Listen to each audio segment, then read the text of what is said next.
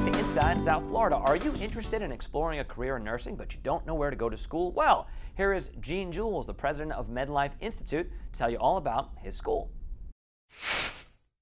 Gene, welcome to the show. Good to see you.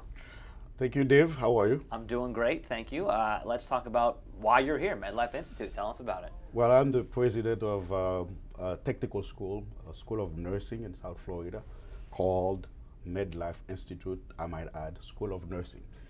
So we're here to talk about uh, the school. Thank you for having me. It's our, it's our pleasure. And down here in South Florida, nursing is a very important occupation, obviously.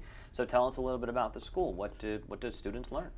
Uh, learn how to become nurses. right, right. Uh, we are licensed, of course, by uh, uh the Commission for Independent uh, Education, and that's where our schools, uh, all, all, the pri private schools, if you will, not big, big, big guys, but sc school in our leagues are licensed, and of course, approved by the Board of Nursing. And I'm a nurse myself. You are. Okay. yes. Okay.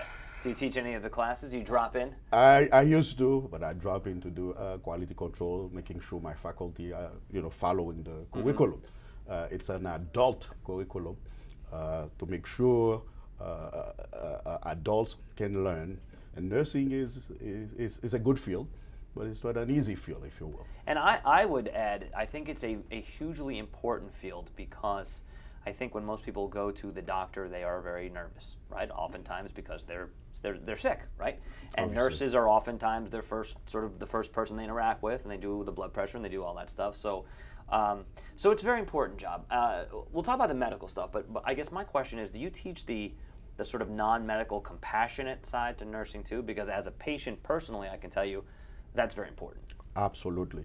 Uh, therapeutic communication is part of the curriculum. Uh, when you come, of course, uh, if uh, you, you, you're sick, and you may uh, lash out because you are in pain. Right. And so the nurse is trained not to take that uh, personally, but uh, to empathize, uh, you know, which is empathy, to uh, act like uh, you were the person who's, who's sick, who's ill, who needs attention.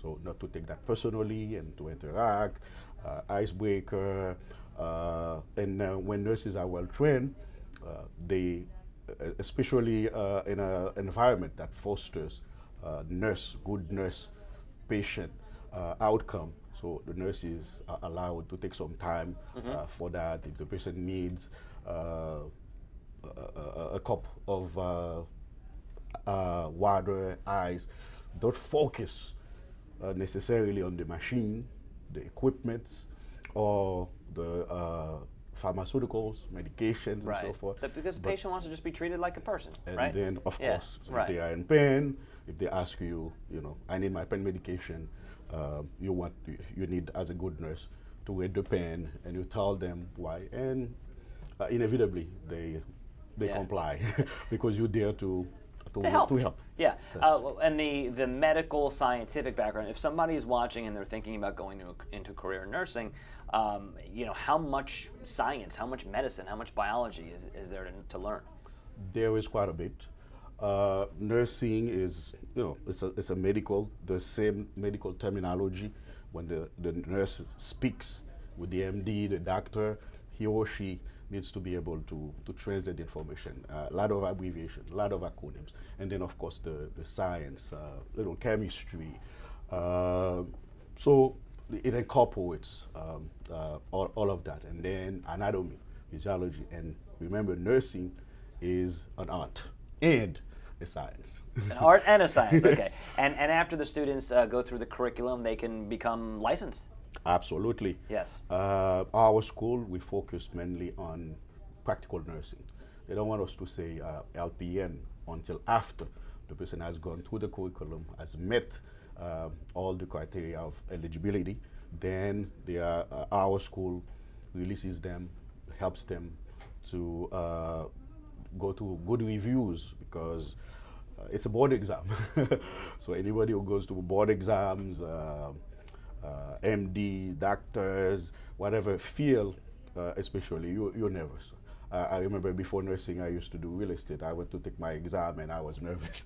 so the exams uh, are designed to make, to make sure that uh, the practitioner or the future practitioner is minimally competent. Minimally competent. yes. okay. that, that's what I want to hear from my caretaker. I mean, don't worry, I'm minimally, min, minimally competent. Yes. Yeah, at, at, for at entry level. Okay. And then tremendous experience, okay, you know, knowledge. You, you train with the, with the, the doctors, the other nurses mentor you, and you, and then you, become get, then you become a Jedi Knight. Pro, right. Pro, proficient, yes.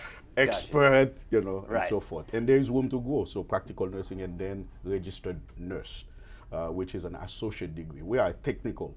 You know, uh, you go like you would go for to uh, Keiser. You go to get a degree or a vocational training to go to work. Makes sense. Mm. Makes sense. Tuition affordable? Very uh, affordable because we are, we are accredited by ABHES, uh, and to become financially um, eligible, you have, you have to be first uh, accredited. So we've met that, uh, that uh, threshold. Uh, now we apply with the U.S. Department of Education. You know, there are, of course, uh, you know, little bureaucracy, so we, we're waiting. Meanwhile, we make it very, very affordable we have uh, payment plans for the student to be able to, to afford. The majority of our students uh, are working adults. Some of them are already in the nursing field. Uh, CNA, Certified Nursing Assistant. Mm -hmm. I am, for example, a CNA, or you are a CN. You want to uh, to climb the ladder. My next step might be uh, maybe an LPN because the LPN supervises me and he or she makes more money and you know the function interacts with the doctors, learns more. So let me, you know, it's a one-year training. Uh, but uh, if, if, like in America, opportunities are available, you apply yourself, we're there to help get you there. I love it. I love you. Made me want to join. uh, locations? Where are you? Location. Uh, we are in um, South Broward, if you will. Okay.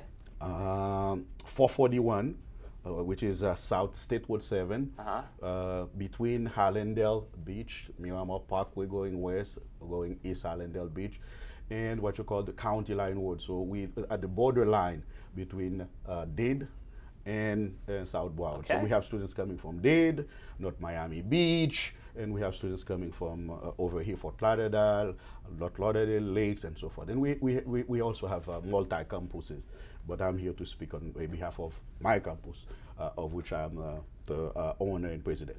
All right, if uh, people have more questions for you, because we're out of time, unfortunately, website, phone number, how can they reach you?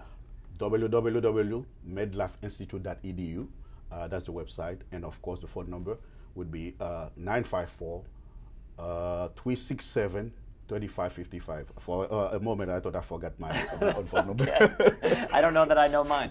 Um, and might I say, if this doesn't work out for you, a career in voiceover work. I think you should look into that. the greatest voice.